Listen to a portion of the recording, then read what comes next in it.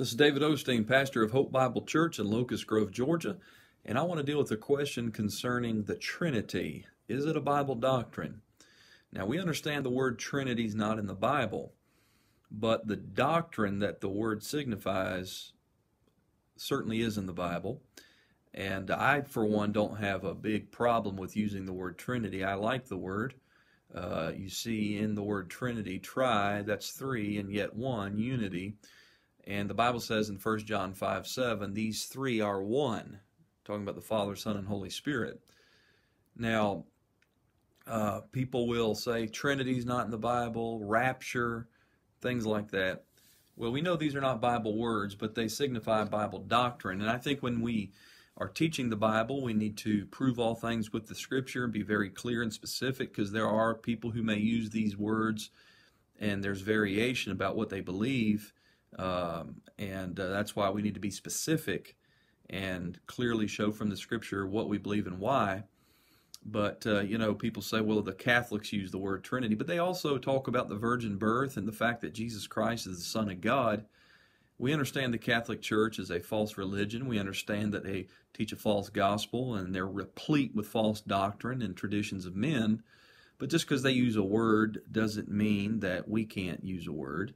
And um, I often, when dealing with such people who are nitpicking me to death, I say, well, why do you keep talking about how these words are not in the Bible?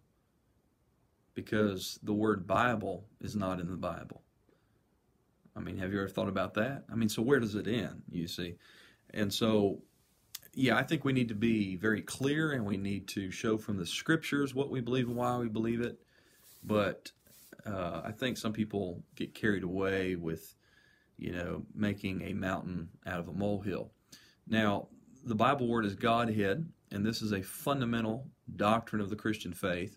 Paul used the word Godhead, and he used it three times. That's interesting uh, because he's talking about uh, the fact there's one God, but that he exists in three persons.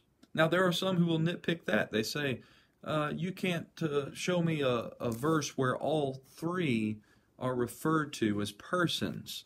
You might show me a verse where the Father is called a person or the Son is called a person, but you can't show me one where the Holy Spirit. Well, look, we know what a person is, and uh, when you study the Father, the Son, and the Spirit in the Bible, it's clear they're persons, okay? So save that for someone else. Okay, I don't have time for that kind of thing. But you, there are. It's amazing how, and it just goes to show you the state of things in the professing church, where professing Christians fight over and nitpick each other over a simple fundamental of the faith like the Trinity. Now, it's a, it's a very deep doctrine, very profound doctrine, but it's simply taught in the Bible. It's very clear. And so, one God in three persons, and co equal, coexistent. Uh, you know, the Son and the Spirit are equally God with the Father. That's why all three of them are called God. The Father, obviously, in many passages, is called God the Father calls the Son God in Hebrews 1 8, Thy throne, O God, the Father speaking to the Son, is forever and ever. Uh, the Holy Ghost is called God in Acts 5. And, uh, and when you study the attributes of God, you see how the attributes of God are applied in the Bible to all three Father, Son, and Holy Spirit. So they're co equal, coexistent God the Godhead. One God, not three gods, one God in three persons. And someone says, How can that be? Well, it's a deep thing for sure, but it's not that difficult when you think in terms like this. I mean, uh, the O'Steen family is one family unit, but there are five members in my household my wife and I, and our three children. It's not five families, it's one family and five persons. Uh, so one God in three persons. That is implied in the Old Testament, very plainly revealed and declared in the New Testament. You go back to Genesis 1, the first uh, chapter of the Bible. When God made man, he said, Let us make man in our image. Okay? Three members of the Godhead. In fact, you can go back before Adam, where before the world began, God promised uh, eternal life. Titus 1 in hope of eternal life, which God promised before the world began. God that cannot lie promised before the world began. Well, who did he promise it to? The Father and the Son and the Spirit. There was a council of the Godhead. Okay? So you come through, you got, come up to Tower of Babel. Uh, God says, Let us go down and see. Uh, and um, you can write these references down and go check them up. For time's sake, I'm not going to turn to all these. I'm just giving you some examples. Uh, let's go all the way over to Isaiah 6. Holy, holy, holy is the Lord of hosts. And Isaiah sees Jesus Christ in his kingdom glory in that vision. And holy, holy, holy, not just for emphasis, but because holy is the Father, holy is the Son, and holy is the Spirit. In that passage, God commissions Isaiah. He says, Who will go for us? Okay? Plural. One God in three persons. You come in the New Testament, it's so crystal clear. 1 John 5 7. There are three, three that bear record in heaven the Father, the Word, and the Holy Ghost, and these three are one. And that verse is so clear that the devil had to try to get rid of it. And that's why the, the modern versions of the Bible omit the verse.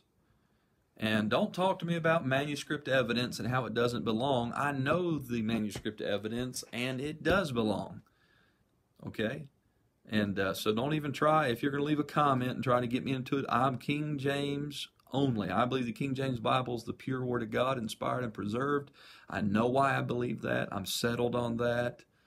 Okay, I've heard all that stuff. 1 John 5 7 belongs in the Word of God. It is the Word of God. That's not the only verse uh, on the Trinity. There are many verses, but um, I'm going to. Um, well, let me let me. There's so many things I'd like to do, but for time, I'm I have to be brief with this. But back to the idea of three distinct persons, there are passages where you see all three together at one time, like at the baptism of Christ in Matthew 3. Jesus was being baptized. The Father speaks from heaven, This is my beloved Son in whom I'm well pleased. The Spirit descends like a dove. Uh, they are present at the same time. So it's not modes. Some people talk about how God goes into different modes, but it's one person, not three, and so on. No, three persons, okay? co-equal, coexistent, um, co-eternal, three persons in the Godhead.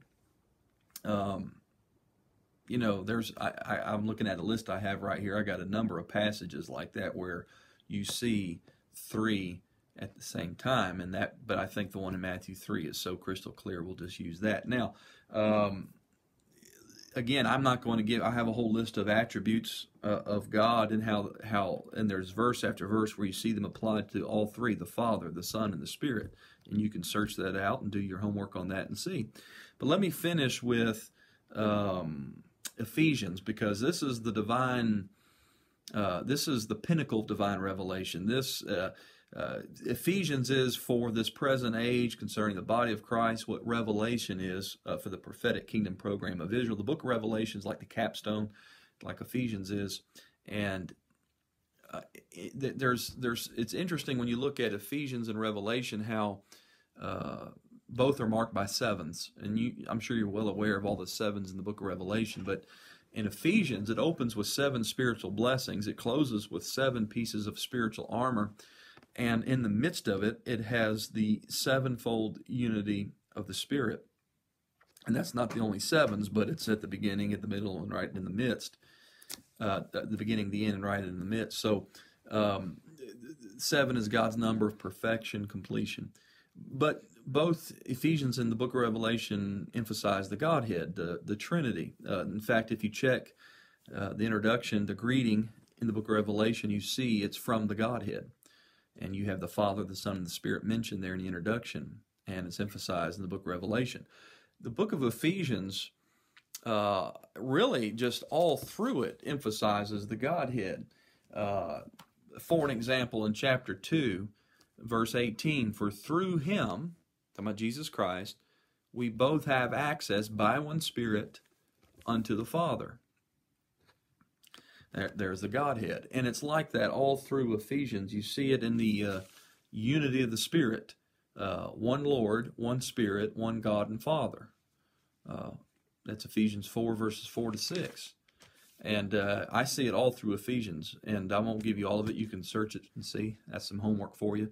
But it starts off, this is so clear to me, you know, salvation's of the Lord. It's His work, it's His salvation. We must choose to believe on Christ and be saved, trusting in His death, burial, and resurrection.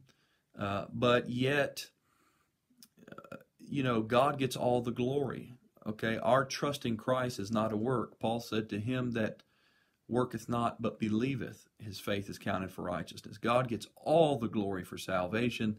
And when you come into Ephesians 1, uh, you, you, see spiritual blessings from the Father, from the Son, and from the Holy Spirit. You have the will of the Father, the work of the Son, and the witness of the Spirit, for an example. And you come through here and you look at these wonderful blessings and salvation from the Father, Son, and Spirit, and every section ends with, with words to this effect to the praise of His glory. The Father gets the glory, the Son gets the glory, the Spirit gets the glory. And so that is the Godhead. And you see the Trinity working in unity as the Godhead. In creation, the Spirit moved, God spoke, and Christ created all things. You see that. You go back into Genesis 1 the incarnation, how the Father gave, the Spirit placed the seed, and the Son was born. Uh, God so loved the world that He gave His only begotten Son. So the Father gave, the Spirit overshadowed there, placed the seed in Mary's womb, and the Son of God was born. Uh, in resurrection, the Bible says God raised him from the dead, the Lord Jesus Christ. God raised him from the dead, but I can show you verses where the Father raised him, where the Son raised himself, and where the Holy Ghost raised him. And uh, so in prayer, we pray to the Father, Ephesians 3.14, in the name of the Son, Ephesians 5.20, in the Spirit, Ephesians 6.18. But this thing about salvation, that's crystal clear to the praise of His glory. One God in three persons. Uh, that's the Godhead. And Christ is the fullness of the Godhead bodily. That proves the deity of Christ. Many verses do. But uh, I don't have a, a, problem with Trinity uh, if we understand it in the biblical doctrine of the Godhead and, and, and, and what all the things we covered. And there's much more we could cover, but I think that's enough, and our time is up. And so uh, if you have any questions, uh, you can leave a comment or send me an email. My uh, email address by which you can reach me is on our website, uh, hopebiblechurchga.com, and uh, would love to hear from you. Thank you for watching.